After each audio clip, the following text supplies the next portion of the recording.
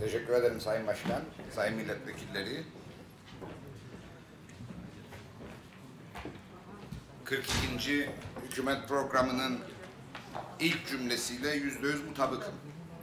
Gerçekten Covid-19 tüm dünyada ve ülkemizde hem sağlık bakımından hem de ekonomik bakımdan son derece önemli yıkımlar yaratmıştır. Ve bu yıkımın önlenmesi bağlamında tüm dünya bir arada çalışmaktadır. Örneğin aşı çalışmalarıyla ilgili dünyada neredeyse bir senkronizasyon söz konusuydu.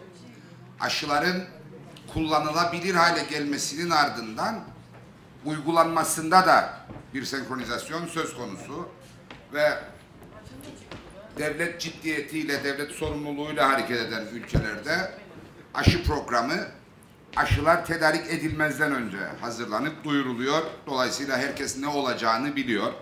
Biz henüz o şansı yakalayamadık ama eminim bu konuda çalışmalar sürdürülüyordur. Tabii bu konuda özellikle sağlıkla ilgili meselelerde siyasetin etkisinin olabildiğince aşağılara çekilmesi gerekiyor ve sağlıkçıların, sağlık profesyonellerinin görüşleri ve literatürde önerilenler doğrultusunda hareket edilmesi esas olmalı. Ancak bizde bu konu biraz muğlak. Çünkü sağlıkçıların ortaya koyduğu görüşler ve bu görüşler çerçevesinde hazırlanan program, bu programa bağlı olarak alınan önlemler siyasetçilerin müdahalesine maruzdur her zaman. Bu müdahale sağlıkçıların öngördüğü önlemlerin gevşetilmesi anlamında olmamalıdır. Bu müdahale sağlıkçıların öngörülerinin yaratacağı etkilerin hafifletilmesi bağlamında olmalıdır. Örneğin Güney Kıbrıs'ta çalışanların bugün itibariyle hala yaşadıkları güçlük alınan önlemlerden ötürüymüş gibi görünmemelidir. Yaş alınan önlemler halk sağlığının korunması bağlamında gerekli önlemlerdir. Ancak bunun yaratacağı etkilerin telafisi, hafifletilmesi veya hükümetin sorumluluğunda olmalıdır ve çalışma bu çerçevede devam etmelidir.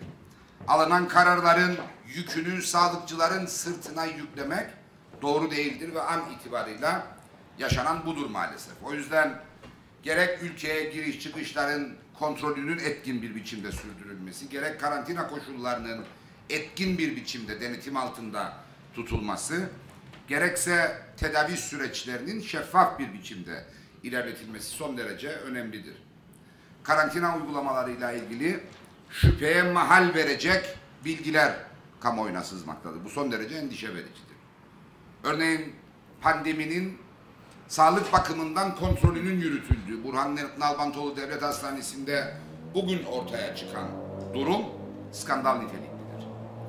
Bir sağlık profesyonelinin her ne kadar da sağlıkçı olmasa da sağlık kuruluşunda çalışan birisinin e, yarattığı tehdit hafife alınacak cinsten değildir. Umuyorum ki gelen bilgiler doğrudur ve bakanlık bu konuyla ilgili gerekli soruşturmayı ve adli süreçleri başlatır ve bu konuda gevşemek sizin hareket eder. Çünkü sadece hasta olduğunu bildiği halde bunu gizleyenlerin, bir hastanın temaslısı olduğu halde değilmiş gibi davrananların ya da sosyal mekanlarda gerekli tedbirlerin uygulanması konusunda zafiyet içinde olanların kendini korunabilecekmiş gibi hissetmemesi gerekir. Sosyal mesafe kurallarının uygulanmasından sorumlu olanlar bunu denetleyenlerin her an için karşılarında bulunabileceğini bilmek durumundadırlar. Bu olursa ancak Covid-19'un hükümet programının ilk paragrafında da ifade edildiği şekliyle gerek sağlık bakımından gerek ekonomik bakımdan etkilerini hafifletmek mümkün olacaktır. Sayın Başkan, Sayın Milletvekilleri, 42. hükümet kendi programında net bir biçimde ifade ettiği üzere seçime yönelik sürecin idaresiyle alakalı görev üstlenmiştir. Seçim tarihi peşinden ilan edilmiştir. Dolayısıyla bu bir seçim hükümetidir. Ancak programına baktığımızda geçen günde söyledim, fezaya füze yazmadıkları kaldı. Yani uzaya füze fırlatacağız diye bir hedef koymadıkları kaldı. Onun dışında müthiş bir program, Kendilerine bir kez daha kolaylıklar dilerim.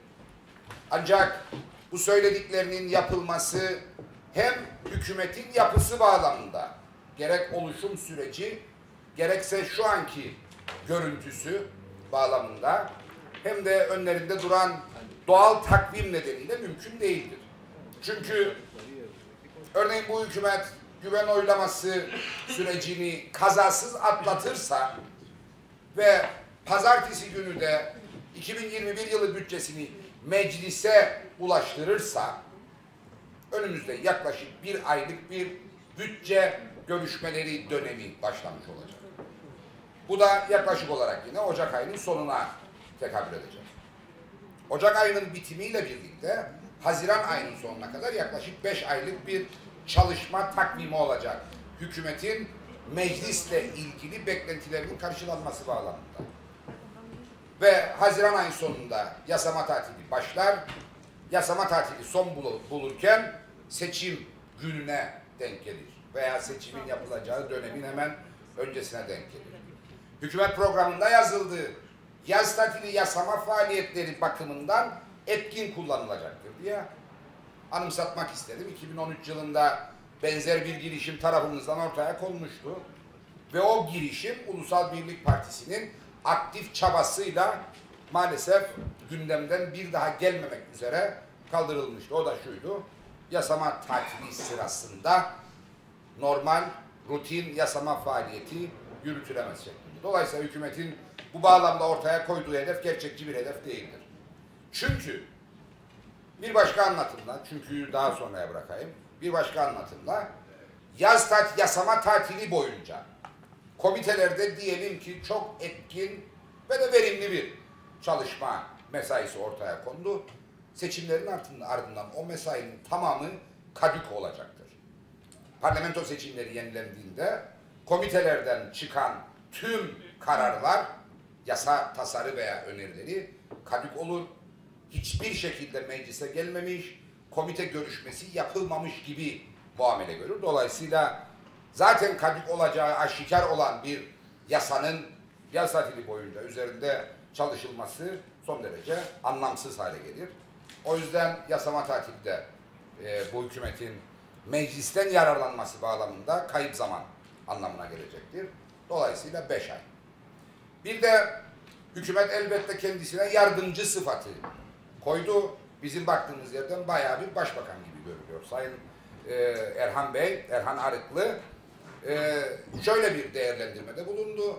Yani Ekim yazdık ama Allah kelamı değildir. Ekim, e, Mayıs'ta olur örneğin seçim için. Mayıs'ı da işaret ederek bayağı bir başbakan edasıyla hükümete ömür de biçebiliyor pekala.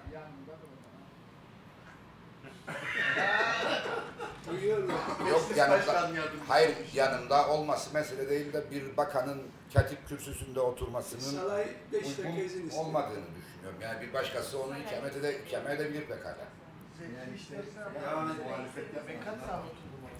Evet.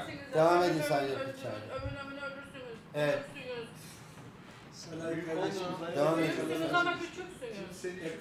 Evet. Şimdi Devam edin. Kahramanlar evet Sayın Başbakan Yardımcısından bahsediyorduk. Salonda olmasını sevindirici bir durum olarak değerlendiriyorum. Hükümet mensupları kabineyi oluştururken kendisine yardımcı dediler. Bizim baktığımız yerden baya baya bir başbakan gibi görülüyor. Çünkü her konuda bir belirleyici söz etmişliği vardır. Görev süresinin ilk bir haftasında bu son derece enteresan. Kendilerini ilgiyle izleyeceğiz. Örneğin Kıptek elbette kendi sorumluluğu altında anladığımız kadarıyla spor da öyle. Kıptek'le ilgili söylediklerini ilgiyle not ettik.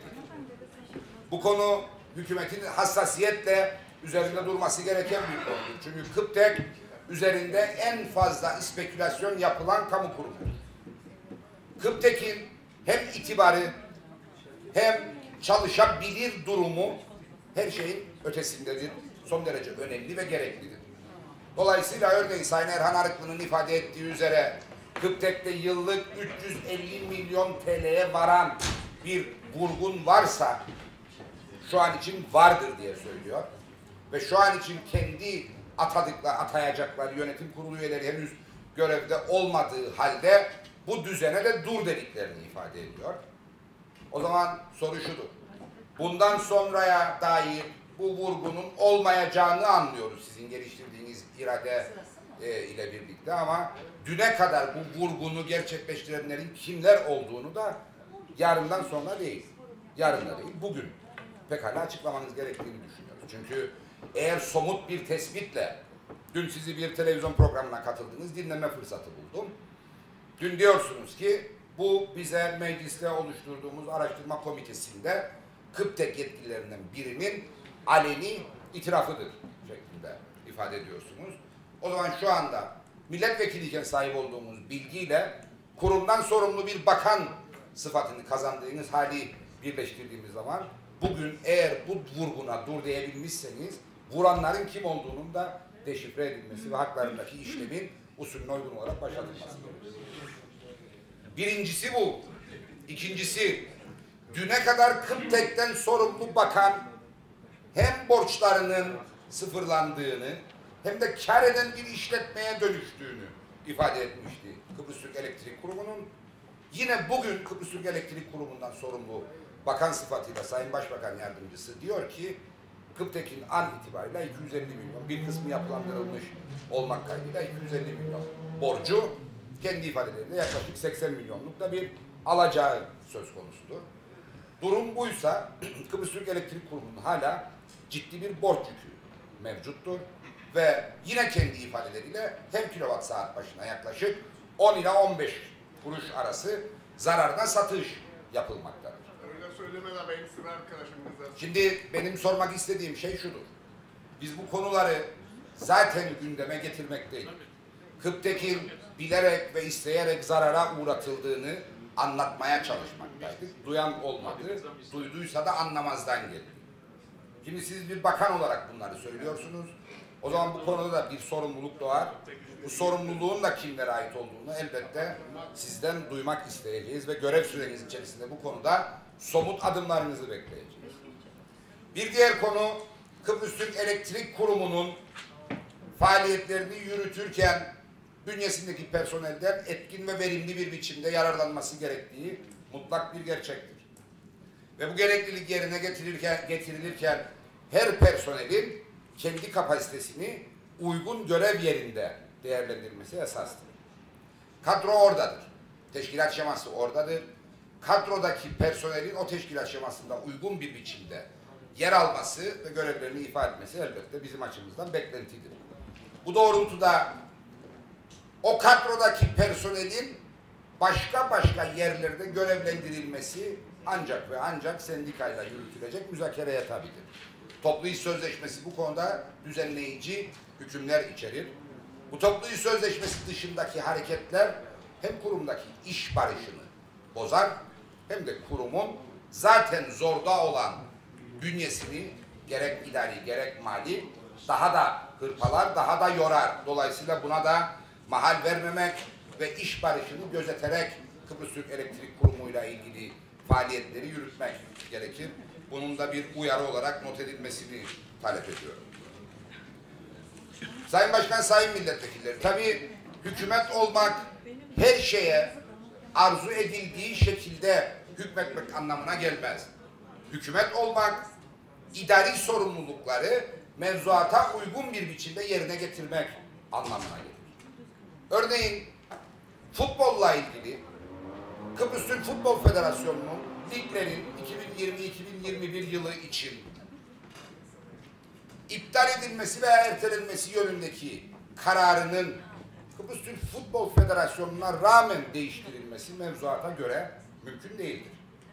Dolayısıyla bu konuda eğer yeni bir durum ortaya çıkarmaya dönük bir inisiyatif geliştirilecekse bu Kıbrıs Türk Futbol Federasyonu'nun muhataplarıyla değil, öncelikle konunun birinci derecede sorumlusu olan Kıbrıs Türk Futbol Federasyonu'yla müzakere edilmesi gerekir.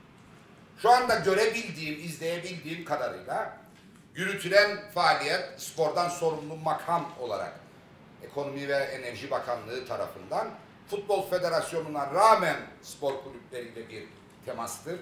Bunun da o güçler ayrılığı ilkesi ve mevzuat dahilindeki yetkilerin kullanımıyla taban tabana zıt bir tutum olduğu kanaatindeyim.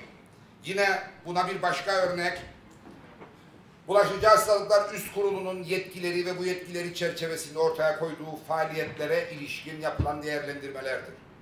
Bunların hükümetin onayına tabi olması diye bir durum söz konusu değildir. Bulaşıcı Hastalıklar Yasası yetki ve sorumlulukları net bir biçimde anlatmaktadır, tanımlamaktadır. Dolayısıyla kurul kararları hükümetin taşıdığı görüşleri, sahip olduğu vizyonu tam olarak yansıtmıyor olabilir. Ama hükümet kurul kararlarının denetleneceği, gözden geçirileceği ve gerekmesi halinde değiştirilebileceği bir yetkiye de sahip değildir. O yüzden mevzuattaki yetkiler çerçevesinde yönetmek hükümet mensuplarının görevidir. Bunun dışındaki yöntemler hem yasal değildir hem de demokratik olmaz. O nedenle bu uyarıları yaparak geçmiş bir haftayı da göz önünde bulundurarak e, uyarmayın görev sayıyorum. Sayın Başkan, Sayın Milletvekilleri, sabahtan beridir yapılan konuşmaların önemli bir kısmında ama özellikle de Sayın Tufan Erhürman'ın konuşmasında 42. hükümetin oluşum koşullarının normal koşullar olmadığı çok net ifade edilmiştir. Bunlara temas etmeden bu konuşmada ilerlemeyi çok doğru bulmam. Ve şu şekliyle bakmak istiyorum. Cumhurbaşkanlığı seçimleri sırasında Kıbrıs Türk Demokrasisi, Kuzey Kıbrıs Türk Cumhuriyeti devleti ciddi anlamda irtifa kaybetmiştir. Demokrasiyle bağdaşmayan pek çok müdahale Kıbrıs Türk halkının iradesinin sandığa gerçek biçimde yansımasına engel olmuştur. Kıbrıs Türk halkı farklı spekülatif değerlendirmelerle rahatsız edilmiş ve sahip olduğu siyasi yaklaşımların sandığa tezahürü maalesef engellenmiştir. Ama ortada bir sonuç var. Ve bu sonuç bizim açımızdan kabul edilmesi gereken bir sonuçtur. Biz bu hüsnü kabulle hareket ediyoruz. Her ne kadar da bu hüsnü kabul istismar edilmeye çalışılsa da örneğin Cumhurbaşkanı'nın Cumhurbaşkanlığına giderken Başbakanlıkla ilgili vekalet bırakmaması ve buna bağlı yaratılan kaos ortada dururken Cumhurbaşkanı sıfatı kazandıktan sonra Başbakan yetkisine de haizmiş gibi işlem yapması ve işlem yapma niyeti beyan etmesi bizim açımızdan kabul edilmez bir şeyken örneğin hükümet programında da bir yerinde Sayın Tatar'ın Cumhurbaşkanı seçilmesiyle 18 Ekim'den bu yana yaşanan süreç hepimizin malum hepimizin malumudur ifadesiyle yer almıştır. Yani hükümet aslında kendi programını ortaya koyarken 18 Ekim sonrasındaki yaşananları normal bulmadığını bir biçimde not etme ihtiyacı hissetmiştir. Ve an itibariyle kurulan hükümet bir azınlık hükümetidir. Mecliste çoğunluğu yoktur. Bu azınlık hükümetinin meclisten güven oyu almasına vesile olabilecek tek görünür ihtimal kendi partilerinden istifa eden 3 milletvekilinin onlara vereceği destektir. Bu istifa her ne kadar da hükümet arayışlarıyla ilişkilendirilmemiş olsa da istifacılar tarafından bal gibi bu hükümetin kurulabilmesinin formülü olduğu ortadadır. Hiçbirimiz, kimimiz siyasette çok uzun zaman yer alıyoruz, kimimiz yeniyiz ama hiçbirimiz bu istifaların hükümetin oluşumuyla ilişkisi olmadığını düşünecek kadar toy ya da saf değiliz. Dolayısıyla bu hükümet zoraki bir biçimde zorlana zorlana, zorlaya zorlaya kurulmuş bir hükümettir. Bu çerçevede yürüteceği çalışmaların tamamında bu çok parçalı yapısı kendini gösterecektir. Geride kalan iki meclis birleşiminin açılışında bunu gördük. Özellikle Ulusal Birlik Partisi'nin sözcülerinin katıldığı televizyon programlarında dile getirdiği görüşlerde bunu çok net olarak görmekteyiz. O yüzden biz bu hükümete gerçekten iş yapabilecek kapasitesi olan bir hükümet gözüyle asla bakmayacağız, bakamayacağız. Buna rağmen bize görev düşen noktada özellikle gerek komitelerde gerek genel kurul aşamasında yasama faaliyetleri yürütülürken bize görev düşen noktada bu hükümetin Kıbrıs Türk halkına hizmet etmesine vesile olacak her türlü inisiyatifi almaktan da çekinmeyeceğiz. Bunun altını çizmek isterim. Çünkü bu hükümete sağlanacak bir katkı falan değildir. Bu Kıbrıs Türk halkının ihtiyaçlarının karşılanmasına yönelik olarak atılacak somut ve sorumlu adımlar olacaktır. O nedenle bunun bu şekliyle değerlendirilmesi gerekir. Ancak bu hükümetin kurucu partisi olan Ulusal Birlik Partisi kendi kurultayını dahi tamamlayamamışken kendi sözcüleri bu kurultayın tamamlanamamasına vesile olan dinamiklerin parti hatta ülke dışı dinamikler olduğunu çok net bir biçimde söylerken bizim onlara güven duyma ihtimalimiz asla oluşmayacaktır. İki tane genel başkan adayı, ikisi de bu parlamentonun üyesidir. Tam da bu kürsüden tam olarak ne yaşandığını tüm topluma ve bizlere anlatmak zorundadırlar. Bir partinin kurultayında birinci gelen ve ikinci gelen aday ikinci turun öncesinde birlikte eğer adaylıktan çekiliyorlarsa bu parti içi bir mesele değildir. Eğer bir partinin kamuoyunda çok da popüler olan sözcülerinden bir tanesi eğer Sayın Ersan Saner'e de müdahale olursa onu da götürürüz diyerek beyanat veriyorsa bu Ulusal Birlik Partisi'nin bir meselesi değil, çok daha ötesidir. Dolayısıyla Kıbrıs Türk siyaseti partiler düzeyinden başlayarak devlet düzeyine kadar özellikle sınır ötesi odaklardan gelecek her türlü müdahaleye karşı çelikten bir direnç geliştirmek zorundadır. Bu direnç kimi zaman parasız kalmak uğruna, kimi zaman taahhüt edilmiş kaynaklara erişememek uğruna ortaya konmalı ve asla taviz verilmemelidir. Çünkü parayı veren düdüğü çalar pozisyonuna düşecek bir devlet aslında devlet olma özelliğini kaybetmiş demek. O nedenle eğer biz burada devletsek, eğer biz burada devlet adına iş görenlersek bu devletin itibarını kendi siyasi partilerimizde ortaya koyacağımız tavırdan başlayarak korumak zorundayız. O zaman hükümetin, hükümette konum elde etmenin bir anlamı olur. Parlamentoda bulunmanın, parlamenter olmanın ve parlamenter olarak hizmet vermenin bir anlamı olabilir. Onun dışında hiçbir anlam aramamak gerekiyor. Sayın Başkan, Sayın Milletvekilleri. Şimdi bu programı detayında incelemek, değerlendirmek ve usule uygun olarak madde madde konuşmak da elbette mümkündür. Ancak az önce ifade ettiğim gerekçelerle bu hükümet bir icraat hükümeti değil, bir idare-i maslahat hükümeti. Ve idare-i maslahat hükümeti azınlık hükümeti ise eğer haddini bilmeli ve toplumun sinir uçlarına temastan kaçınmalıdır. Örneğin geçmişte çok ciddi adaletsizliklere imza atılan istihdam konusu, geçmiş diyerek çok uzağa götürmeyen kimseyi, daha üç hafta önce veya üç ay önce e, çok ciddi adaletsizliklerle kamu vicdanını yaralayan istihdam konusu örneğin bu hükümetin gündeminde asla yer almamalı. Eğer zaruri ise kamu hizmeti komisyonunun marifeti dışında hiçbir yöntem istihdam için geliştirilmemelidir. Hiçbir girişim yapılmamalıdır.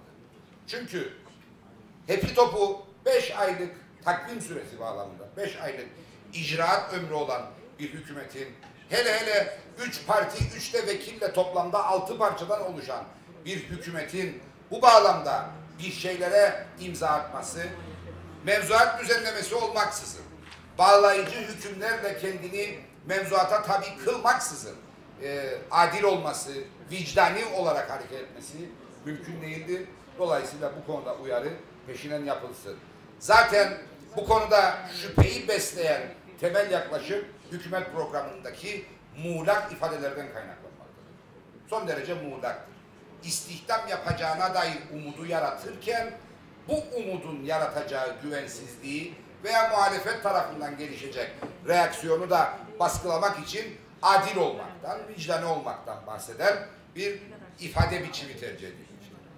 Aynı şey yurttaşlıklarla ilgilidir de. Kıbrıs Türk halkının iradesinin tecellisi ancak ve ancak yurttaşların sandıklara attıkları oylarla mümkündür. Bunun dışında hiçbir şey bu iradede etkin rol oynamamalıdır.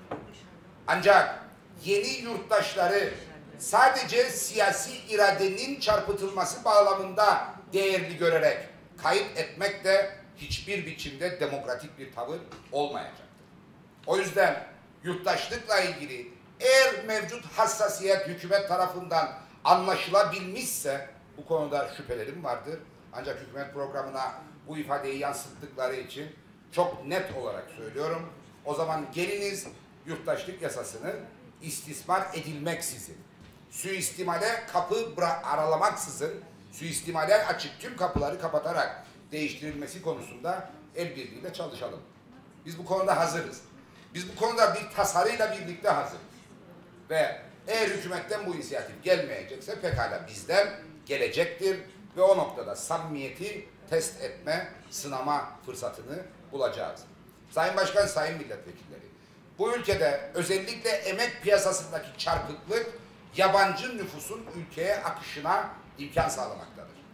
Ve bu yabancı nüfusun bu ülkedeki mevcudiyeti mevcut yasa tahtında yurttaşlığa uzanan bir yolculuk olarak görülmektedir. Şimdi mevcut yasa bağlamında yurttaşlık işlemlerinin tamamlanmaması da doğru bir yaklaşım değildir. Dolayısıyla sonsuz bir hazım kapasitesi olamayacağına göre Kuzey Kıbrıs Türk Cumhuriyeti'nin insan sayısı bağlamında buna sınırlandırma koymak, bütün demokratik demografik dengelerin sağlıklı bir biçimde faal durumda olabilmesini sağlayacak tedbirleri öngörmek milletvekillerinin görevidir. İşsizliğin sürekli arttığı, eğitimli nüfusun eğitim sebeplerinden birinin de aslında iş bulma ihtimallerinin düşük olması gerçeği ise eğer bu konuda tedbirli olmak ve pastanın dilimlerini küçülmeden, küçültmeden korumak ve yurttaşların adil bir biçimde sahip olduğumuz kaynaklardan istifası, istifade edebilmesini sağlamak bizim açımızdan ertelenemez bir görevdir. görevdir. O nedenle hem istihdam konusunda hem yeni yurttaşların Kuzey Kıbrıs Türk Cumhuriyeti, yurttaşları arasına katılması konusunda hiçbir art niyetli tutumun ortaya çıkmaması Kuzey Kıbrıs Türk Cumhuriyeti'ne Kuzey Kıbrıs Türk Cumhuriyeti Meclisi'nde yemin veren her milletvekilinin birinci görevidir. O yüzden bu konuda hassas olunması gerektiğini altını çizmek istiyorum. Sayın Başkan, Sayın Milletvekilleri kamuda verimlilikte reformist bir yaklaşım ortaya koyacağını ifade eden üç partiden altı parçadan oluşan bir azınlık hükümeti var. Çok merak ettim bu reformcu yaklaşım nasıl bir tavır olacak ve biz bunu nasıl anlayacağız reformcu olduğunu. Eğer somut bir biçimde takvimiyle birlikte bir yasa söz konusu olacaksa bir yasa değişikliği dahası yeni bir esas yasa söz konusu olacaksa bu bugün net olarak bize ifade edilmeli, ilan edilmeli. Yok bu değil de mevcut 779 kamu görevlileri yasasının biraz altından biraz üstünden çekip hırpalamak yönünde mevcut kaosu derinleştirecek ve günün sonunda sahip olduğumuz kaynakları daha da idare edilemez hale getirecek bir müdahale ise söz konusu olacak olan bunu da anlamamız gerekir. Çünkü reform özünde sancı demektir. Siyasi sancı demektir. Sosyal sancı demektir. Ve çalışma süresi bağlamında kendisine 5 aylık, takvim süresi bağlamında da 10 aylık ömür biçen bir hükümetten reformcu yaklaşım beklemek, ölü gözünden yaş beklemektir aslında. Bu mümkün değildir. Buna ne önünüzdeki mesai izin verir ne de önünüzdeki zaman izin verir. Dolayısıyla çok iddialı bir yaklaşımla ifade edilen reformcu yaklaşım bana göre içi boş bir yaklaşım olacak. İzleyip göreceğiz. Sayın Başkan, Sayın Milletvekilleri, Kıbrıs Türk halkının Avrupa Birliği ile ilişkilerinin kurumsal bağlamda gelişmesine vesile olan olay 24 Nisan 2004 tarihinde gerçekleşen referandum. Bu referandumdaki Kıbrıs Türk halkının çözüme yönelik istekliliği ve ortaya çıkardığı çözüm planına evet sonucudur. O noktadan itibaren Kıbrıs Türk halkı Avrupa Birliği kurumlarıyla doğrudan temas edebilen bir duruma ulaşmıştır. O noktadan itibaren Avrupa Birliği Kıbrıs Türkleri daha fazla görmezden gelemeyeceğini kabul etmek zorunda kalmıştır. Ve o noktadan sonra Avrupa Birliği'ne Kıbrıslı Türkler adına da ama Kıbrıs Türkleri temsilen değil, tam üye olan Kıbrıs Rum tarafına rağmen Avrupa Birliği Komisyonu temsilciliği Kuzey Kıbrıs'ta açılabilmiştir. 2004 referandumu Kıbrıs'ta nihai çözüm şekli olarak federasyonun kabul edilip edilmeyeceğine dair bir sorunun sorulduğu referandumdu. Ve Kıbrıs Türk halkı buna yüzde 65 e, düzeyinde evet dediği için Avrupa Birliği ile ilişkiler gelişti. Mali yardım tüzüğü yürürlüğe kondu. Yeşil hat tüzüğü yürürlüğe kondu. Doğrudan ticaret tüzüğü hazırlandı ama Kıbrıslı Rumların engeline takılarak yürürlüğe giremedi ve bizim açımızdan asıl olan Yeşil Hat tüzüğüne, mali yardım tüzüğüne ek olarak doğrudan ticaret tüzüğünün de yürürlüğe sokulmasına ilişkin tüm katılabildiğimiz Avrupa Birliği platformlarında baskımızı kesintisiz sürdürmektir. Çünkü Kıbrıs adasının tamamı Avrupa Birliği toprağı sayılmakta ama yüzde 37'lik kısmında, kuzey kısmında Avrupa Birliği'nin kontrolü ve denetimi bulunmamaktadır. Bunun da sebebi Kıbrıs sorununun devamıdır. O zaman biz eğer hükümet programına Avrupa Birliği'ne uyum çalışmalarına devam edileceği ve Avrupa Birliği'nin sağladığı desteklerin artırılmasına ilişkin girişimlerin sürdürüleceğini yazıyorsak, Avrupa Birliği ile ilişkilerimizin hangi zeminde geliştiği, bu gelişmenin başlangıç noktasının ne olduğu asla unutulmamalıdır.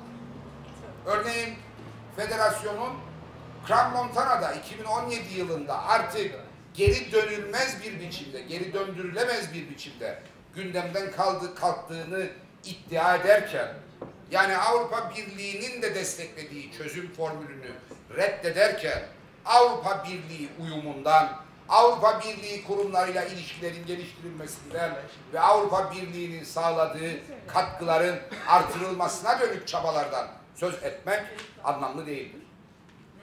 O zaman hükümet bir karar vermeli.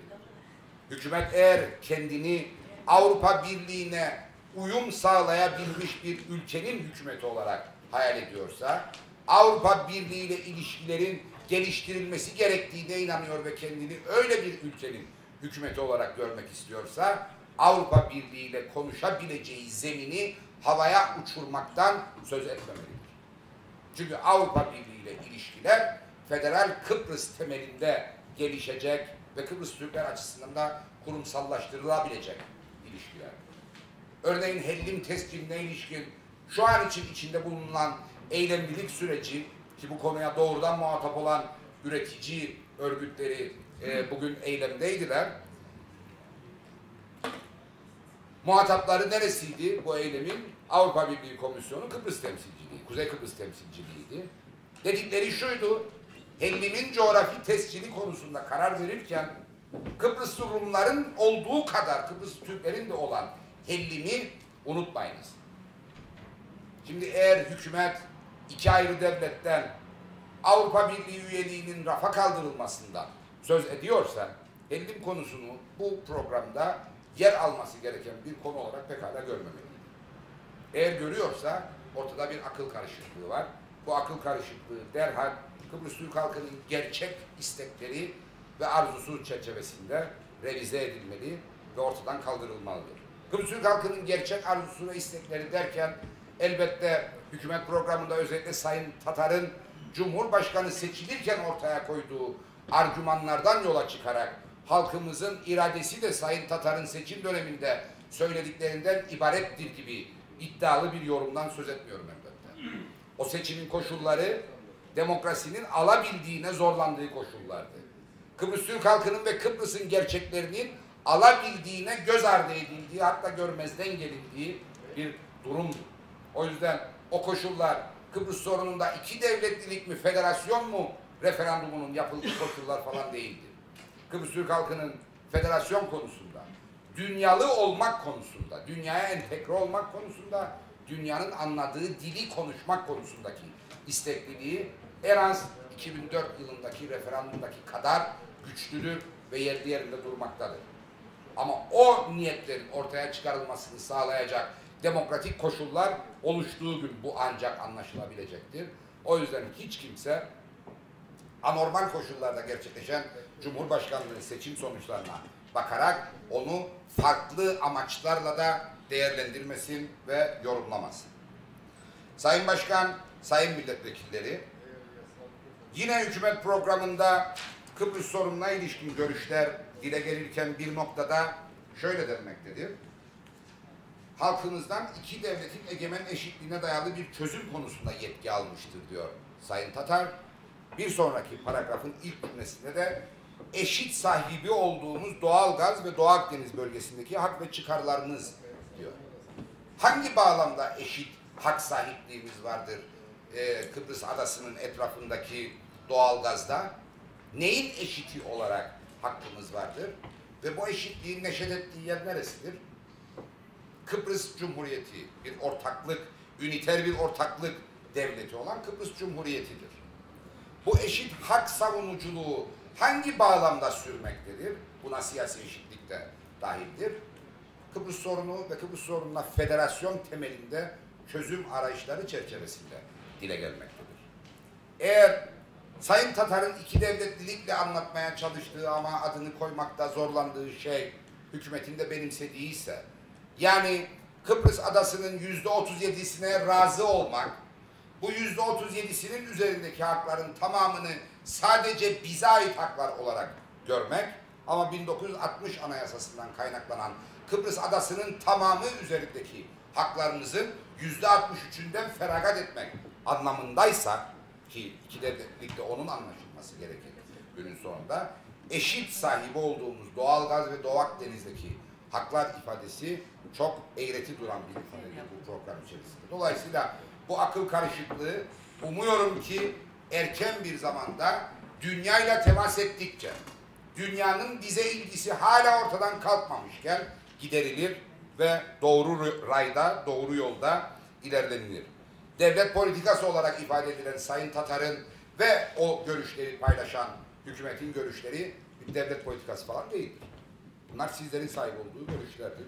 Ve bu görüşler çerçevesinde pekala demokratik olarak fikrinizi söyleyebilirsiniz. Ama Kıbrıs Türk halkının geleceğine ilişkin nihai kararları verirken elde ettiğiniz pozisyon sizin için bir referans değildir. Bu referansı eğer gerçekten valide etmek istiyorsanız bu konuda bir referandumu pekala öngörebilirsiniz. Kıbrıs Türk halkı gerçek demokratik koşullarda ne istediğini size bir kez daha net bir biçimde söyleyecektir. Çünkü o kadar çok çelişki var ki Sayın Erhürman da bunu bu sabah pek net bir biçimde ifade etmişti. O kadar çok çelişki var ki bu çelişkilerin aşılması ve hükümetin önümüzü görebileceğimize e, görebileceğimiz koşulları sağlaması maalesef mümkün olamayacak. Sayın Başkan, Sayın Milletvekilleri, ben bana ayrılan sürenin sonuna geldiğimi fark ediyorum ve kısaca tarım konusuna da değinerek e, konuşmamı tamamlamak istiyorum. Şimdi hükümet programında tarımsal desteklerin etkin ve verimli kullanımına ilişkin bir hedef işaret edilmektedir. Son derece soyut bir hedeftir, subjektif bir hedeftir. Bu etkinliğin ve dolayısıyla verimliliğin nasıl sağlanacağına ilişkin ilk ipucu küçük ve orta ölçekli işletmelerin desteklenmesi şeklinde anlatılmaktadır. Bu konuda ne yapabileceğinizi bir hafta sonra gelecek olan bütçenize baktığımızda net bir biçimde göreceğiz. Ama gidilen yol tamam bir yol değildir. Güvenli bir yol değildir. Bunu net bir biçimde ifade etmem gerekiyor. Örneğin süt Süt bu ülkede son derece önemli bir ekonomik faaliyet alanıdır. Bir üründür. Çünkü bağlı pek çok etkisi vardır süt ekonomisi üzerinde. En önemli sanayi ihraç ürünüdür süt ürünleri örneğin. En önemli, en yaygın tarımsal üretimin tüketileceği adrestir. Hayvancılık ve hayvancılığın çıktısı olan süt.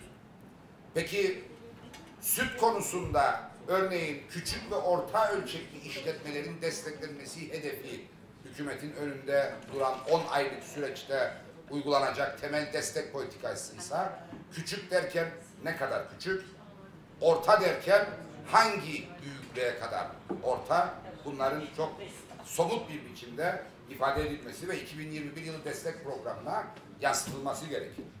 Çünkü küçük dediğiniz ve orta dediğiniz işletme büyüklüklerinin mevcut duruma göre söyleyecek olursak bir keçinin de işletme olarak kaydedildiği bir düzen söz konusudur ve küçük bir işletmedir. Bir keçinin bulunduğu çiftliği eğer biz küçük diye kabul edeceksek elbette küçüktür. Peki desteklendiği takdirde Kıbrıs Türk ekonomisi için sağlayacağı artı değer ne ölçüde olacaktır diye sorarsak bu ölçülemeyecek kadar azdır veya aslında. Dolayısıyla bu tanımların ilk kez net bir biçimde ortaya konması gereken noktaya geldi. Çünkü işler çığırından çıkmaktadır. Süte bir de şu açıdan bakmak gerekir. Mevcut düzenleme çerçevesinde Süt Endüstrisi Kurumu bu ülkede üretilen her damla sütün alınmasından ve pazarlanmasından sorumludur. Ve Süt Endüstrisi Kurumu tarihinde ilk kez şu anda borç batağında savrulmaktadır. Pandemi koşulları gerekçe gösterilerek sütte çok ciddi bir borç yaratılmaktadır ve bu sütün pazarlanabilmesi imkanları da maalesef son derece zayıflatılmıştır. Dolayısıyla borç yükü altındaki Kıbrıs Türk Süt Endüstrisi Kurumu'nun tekrardan ayağa kaldırılmasına ihtiyaç vardır. Bunun nasıl olacağını bu hükümet bize bugün itibariyle söyleyemedi. Bir başka dokunulması gereken şey tüptür. Toprak Ürünleri Kurumu. Toprak Ürünleri Kurumu Kıbrıs Türk halkının adını en fazla duyduğu kamu kurumlarından bir tanesidir. Ve an itibariyle uğradığı görev zararı yaklaşık 10 milyon. 2020 yılında uğratıldığı görev zararı zaten halihazırda 10 milyon. Üstelik artık kronik hale gelmiş yaklaşık 150 milyon dolarlık bir başka borç yükü nedeniyle de finansal kabiliyetleri yok edilmiştir. 1992 yılından başlayarak yaptığı tüm borçlanmaların faizlerini ödemekle yükümlü olan devlet, ki bu konuda Bakanlar Kurulu kararları almıştı, bu faizleri ödemediği için Toprak Ürünleri Kurumu ana parasını ödemiş olduğu halde hala bilançosunda yer alan bu borçlar nedeniyle 1 liralık borçlanma yapamayacak durumdadır. Dolayısıyla TÜK'ün bir an önce kaydi olarak bu borçtan kurtarılması ve bilançosunun rahatlatılması gerekmektedir. Bu sözleri ben 2020 yılı başında söylemiştim. Çünkü 2020 yılı içerisinde mevcut borç yükünün 10 milyon daha artırılacağını Allah'ın doğrusu tahmin etmemiştim. Bilemem, bile bilemiyordum. Dolayısıyla şu an için TÜK 1 Ocak 2020'de olduğundan çok daha zor durumdadır. Bu zorluğun aşılabilmesi Kıbrıs Türk hayvancısı için elzemdir. Basına yansıdı. Bu ülkede an itibarıyla bir haftalık arpa stoğu kalmıştır. Ve yine bugün Sayın Bakan'ın ağzından basına yansıyan bilgi 5 milyonluk bir kaynak yaratılarak e, arpanın Türkiye'den ithal edileceği ifade edildi. 5 milyonluk arpayla Türkiye'nin vereceği taahhüt edilen eğer geçerli bir taahhütse alınabilecek arpa miktarı 3500 tondur. 3500 ton 3500 ton bu ülkede 5 günlük arpa ihtiyacını karşılar. Çünkü bu ülkede aylık yaklaşık olarak 10 ile 12 bin ton arpa sarf edilmektedir. Dolayısıyla 5 milyonla alınacak olan arpa bu ülkede hayvancının dişinin kovuğunda bile yer etmez. O yüzden ambarları boşalmış vaziyette kendi partilisinden e, görevi devralan Sayın Bakan'ın işi çok zordur. Umuyorum ki görev devraldığı Sayın Bakan Maliye Bakanı olduğu için ve hali de bildiği için kendisine bir miktar el uzatır. Aksi takdirde bizi çok çok zor günler beklemektedir. Hellimle ilgili az önce ifade ettim. Bu ülkedeki üretici kesimler bugün sesini Avrupa Birliği'ne duyurmak için komisyon temsilciliği önünde bir basın açıklaması yaptılar. Kıbrıs Türk Hayvan Üreticileri ve Yetiştiricileri Birliği, Kıbrıs Türk Süt Ürünleri Üreticileri Birliği, Kıbrıs Türk Sanayi Odası ve Kıbrıs Türk Çiftçiler Birliği. aynı eylemi Sayın Başbakan'ın kapısının önünde de yapmalı ve kendisiyle yoğun bir mesaiye girişmelidir. Çünkü hellim tescili bizim için çok önemlidir. Bu ülke hayvancılığının hayata tutunabilmesi bakımından son derece elzemdir. Ancak hellim tescili konusunda sadece muhatap Avrupa Birliği değildir.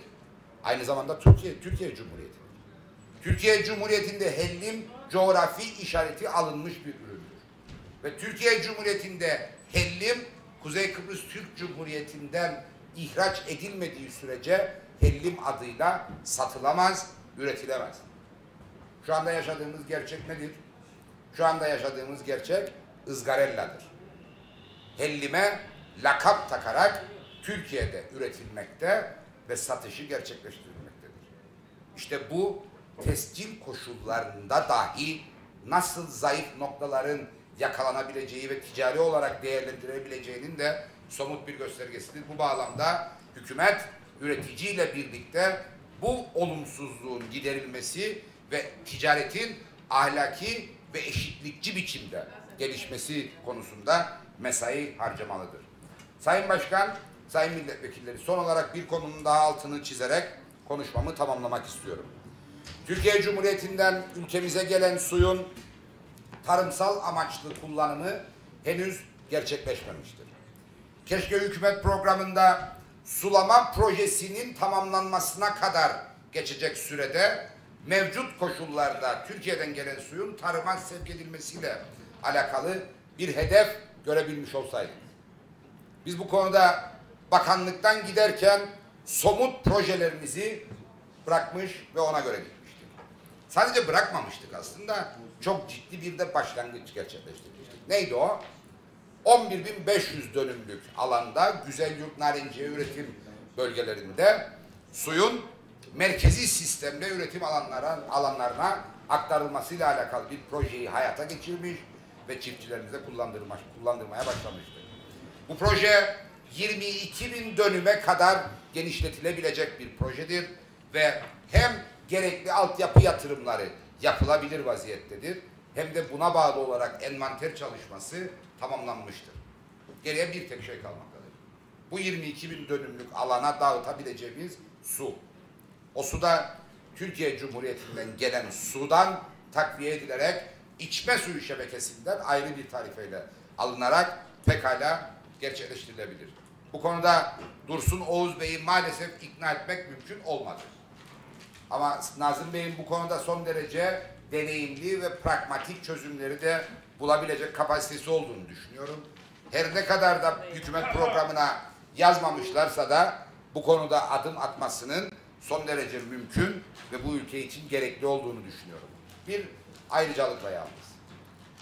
Sayın Başkan, Sayın Milletvekilleri, ilk günden itibaren Türkiye Cumhuriyeti'nden gelen suyla ilgili atılan nutuklarda ciddi bir abartı söz konusudur. Hatırlayacaksınız, suyun önce bize hibe edileceği, hediye edileceği söylenmişti. Suyun bize yettiği kadarının kullanılacağı, artanın da Güney Kıbrıs'a verileceği söylenmişti. Suyun her evde akacağı, her tarımsal üretim alanına ulaştırılacağı söylenmekteydi. Hükümetin bu konuda tekrardan bir durum değerlendirmesi yapması ve suyla ilgili beklentileri gerçekler zemininde revize etmesi gerekir. Biz görevdeyken çok net ifade ettik. Türkiye Cumhuriyeti'nden gelen su bu ülkenin tamamında tarımsal amaçlı olarak kullanılamayacak kadar azdır ve yetersizdir. Evsel kullanımın tamamı mümkün olduğunda ki şu anda yaklaşık yüzde 75 ile 80'dir evsel anlamda ülkede Türkiye suyunun kullanımı. Geriye kalan su miktarıyla sadece ve sadece bu ülkenin çok küçük bir tarımsal alanında yaklaşık olarak tarımsal alanlarda kullanılan suyun beşte biri kalmaktadır. Dolayısıyla o beşte biriyle hem Karpaz'da hem Maunsa'da hem Orta Mesarya'da hem de Güzel Yurt'ta tarım yapmak mümkün değildir. O nedenle Türkiye'den gelen su ucuz da değildir. Bir bedeli vardır ve pahalıdır. Ve o pahalı suyun olası en etkin ve en verimli biçimde tarımsal alanlara yönlendirilmesi şarttır. Bununla ilgili tek seçenek sulama tünellerinin tamamlanmasının ardından suyun Güzelyurt Ovası'nda değerlendirilmesidir. Gerek mesafe, gerek rakım, gerekse ihtiyaç ve oradaki altyapı bu suyun sadece ve sadece etkin ve verimli bir biçimde güzel yurttaki tarımsal alanlarda kullanılmasına imkan vermektedir. Ancak güzel yurtta kullanılması diğer bölgelerde Türkiye'den gelen suyla ilgili hiçbir olumlu gelişme olmayacağı anlamına gelmez. Elbette o bölgelerde de Türkiye suyunun evsel amaçlı kullanıldığı noktalarda yeraltı suyunun belediye ihtiyaçlar nedeniyle çekimi duracağından tarımsal alanlara aktarılması pekala mümkün olabilecektir. Örneğin Mausa'da Mausa Maraş'taki seracılık bölgesi bu ülkenin ihtiyaç duyduğu sebze ve meyve ama özellikle de sebze üretiminin yüzde yetmiş beşinin gerçekleştirildiği bir bölgedir. Tamamı seracılık yapmaktadır. Mausa Maraş'taki tarım emekçilerinin ve en büyük ihtiyaçları nitelikli sudur.